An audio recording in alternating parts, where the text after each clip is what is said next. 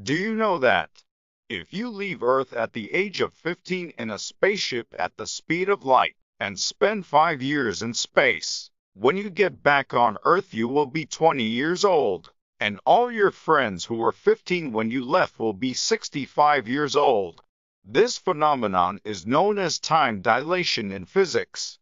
Have you ever heard about this? If not, comment below.